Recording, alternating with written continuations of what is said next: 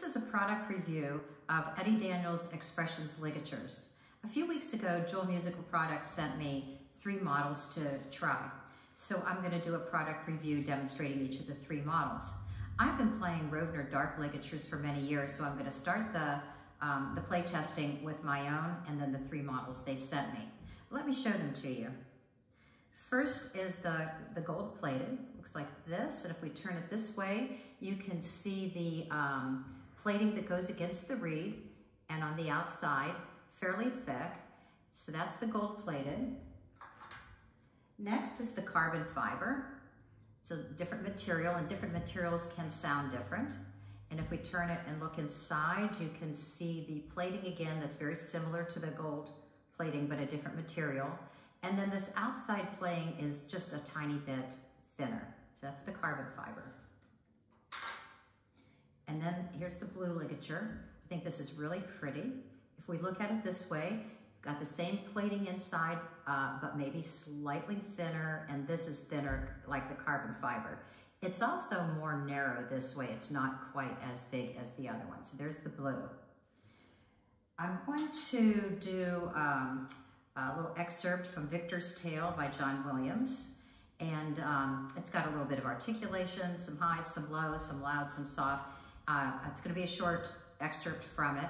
And uh, see if you can hear any difference in the ligatures. And if you like one ligature more than the other, comment below and tell me what you think. So let's, let's listen to some ligatures. This is on my own Rovner dark ligature.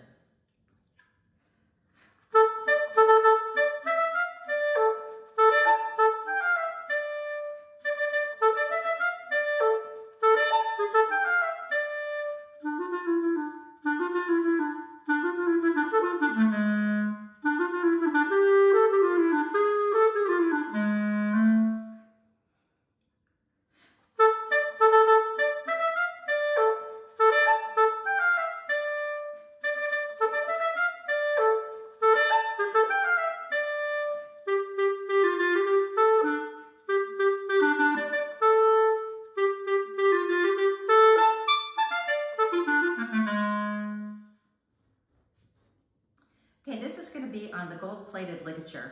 I'm not sure, but I think this is actually the prototype.